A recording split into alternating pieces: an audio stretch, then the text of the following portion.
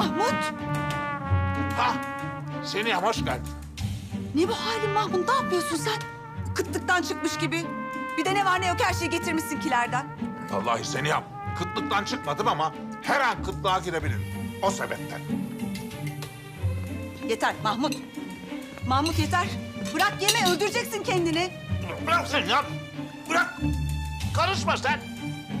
Yemeklerle harama girme Seniha.